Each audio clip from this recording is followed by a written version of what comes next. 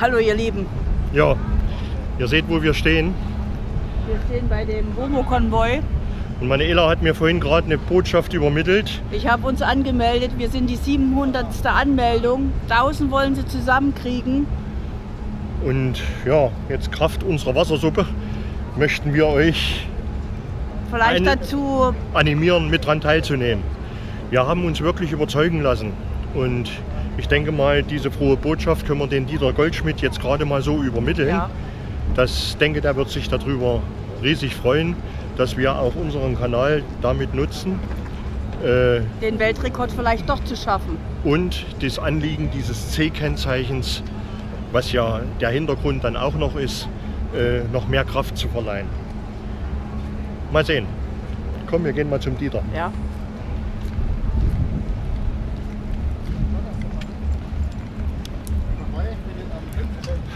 Da, da Hallo. steht er, Dieter. Hallo, Dieter. Wir wollten dir die frohe Botschaft überbringen. Wir sind die 700. Anmeldung Ehrlich? zu deinem oder zu unserem Wohnmobilkonvoi. Ja. Weltrekordversuch. Das ist der Hammer. Aber wir kriegen den Weltrekord dieses Jahr. Wir haben jetzt gerade auf der anderen Seite gesprochen und haben gesagt, wir wollen mal äh, diesem Anliegen dieses C-Kennzeichens und diesem Event Ja. äh, unsere Kraft mit, mit, mit dazu beitragen, dass wir vielleicht noch mehr dazu bekommen.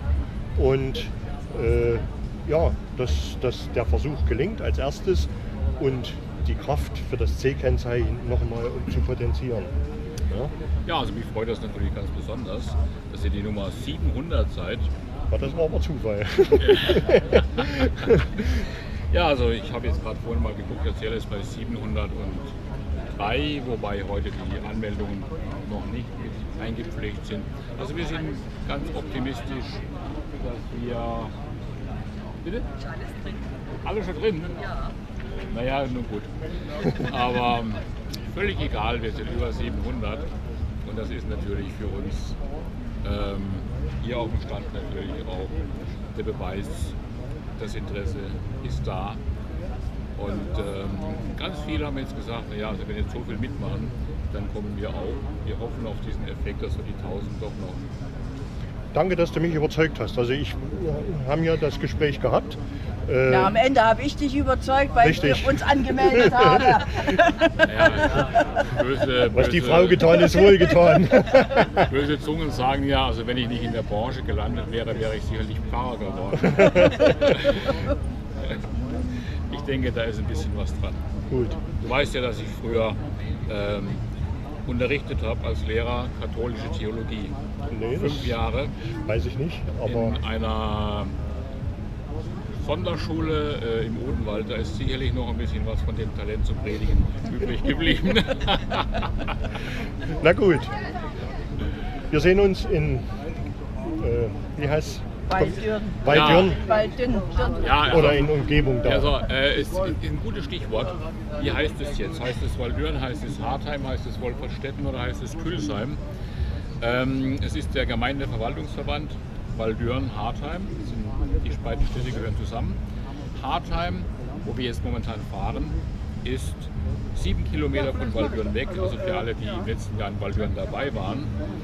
Und dort beginnt ein riesengroßes Militärareal, ein Panzerübungsgelände, das sich bis in die Gemarkung der Gemeinde Külsheim erstreckt.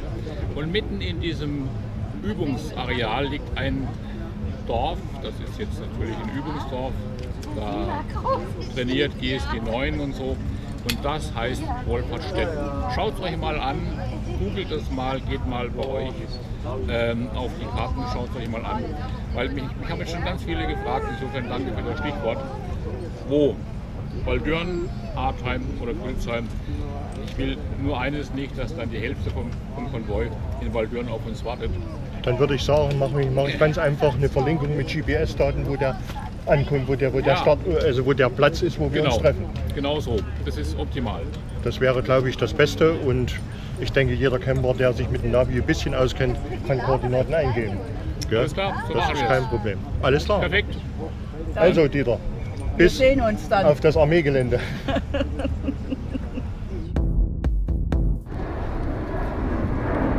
Hallo ihr Lieben. Die Sonne blendet ein bisschen. Und die Düsseldorfer Gedenkminute ist auch am Himmel. Äh, Also, kleines äh, Messefazit nach der Hälfte. Wahnsinn. Wahnsinn. Wir haben so viele neue Kontakte geknüpft und so vieles vorbereitet. Ich weiß gar nicht, wann ich das alles senden soll. äh, es gibt für jeden das Traummobil. Für jeden. Wir sind, wir fangen jetzt wirklich mit den, mit den, mit den 360-Grad-Aufnahmen für die Wohnmobile an, haben die ersten drei, vier Stück Übrigens abgedreht. auch für uns. Es könnte was Neues wachsen. Es könnte was Neues wachsen. Äh, Das werden wir sehen. Ja, äh, haben jetzt zwei Wahnsinnswohnmobile gefilmt. Freut euch auf diese. Also, das ist schon mal der Hammer gewesen. dass man, dass man auch, ihr wisst, wir waren bei Ahörnchen. ja, Die sind schon super, die Wohnmobile. Und jetzt waren wir, lasst euch überraschen, bei den Variomobil. Variomobilen. Das ist auch der blanke Wahnsinn. Deswegen sage ich, es gibt für jeden das Traummobil. Sorry dafür, dass wir am zweiten Tag das Video nicht hochladen konnten, weil da ist ein bisschen was schief gegangen.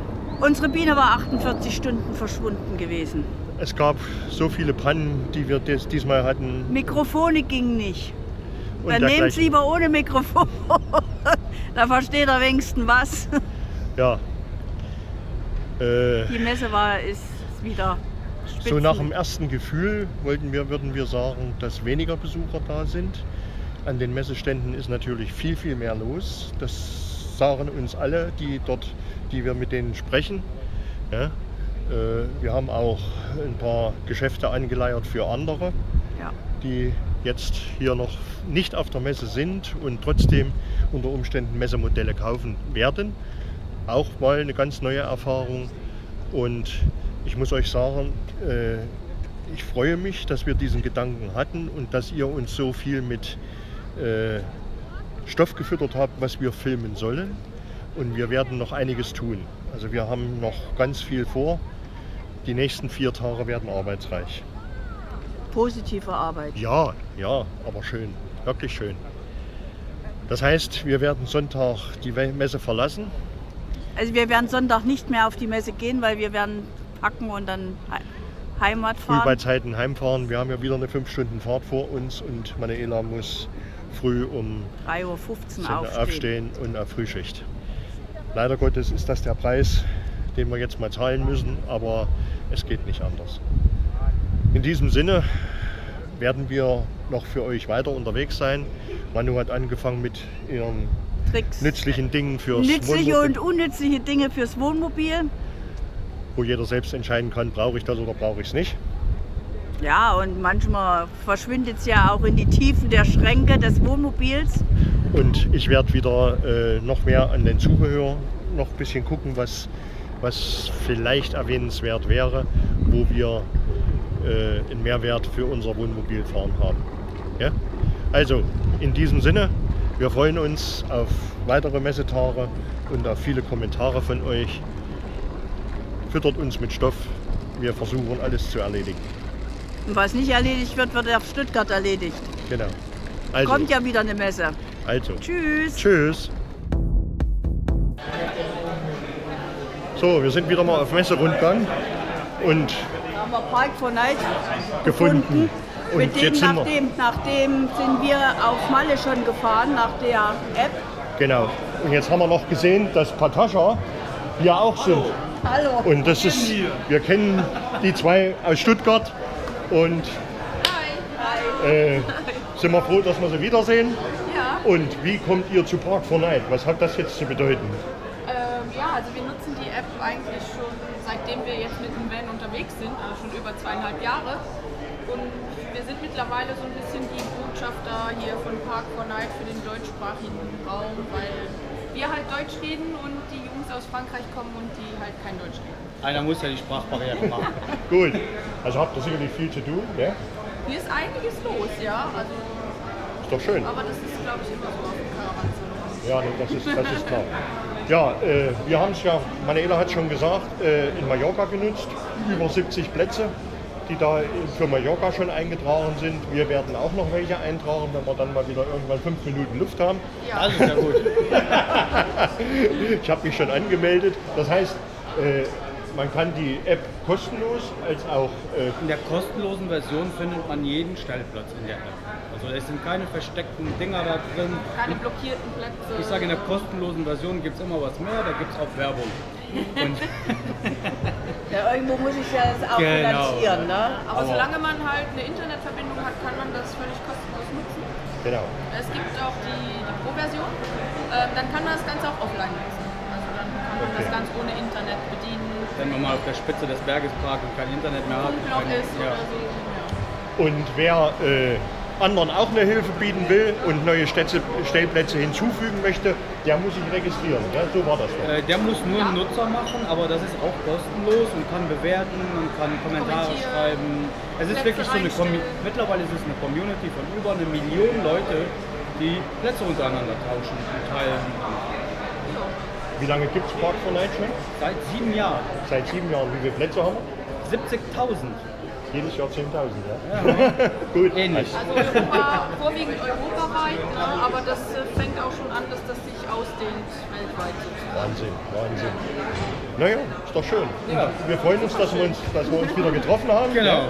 Und Ja. ja, man sieht sich, Auf jeden Fall. eventuell schreibt man sich und dann ist das eigentlich eine ganz tolle Geschichte zwischen uns, denke ich mal. Toll. Also, bis bald. Tschüss. Man will, man will mal Mittag essen und schon ist der Tisch, schon ist der Tisch voll. Wir haben sehr nette Gespräche.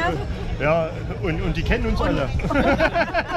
Aber wir sie nicht. Aber jetzt, Jetzt haben wir uns kennengelernt. Also wir bedanken uns, Aber wir uns dürfen ja alle mal von der Wurst abbeißen. Ne?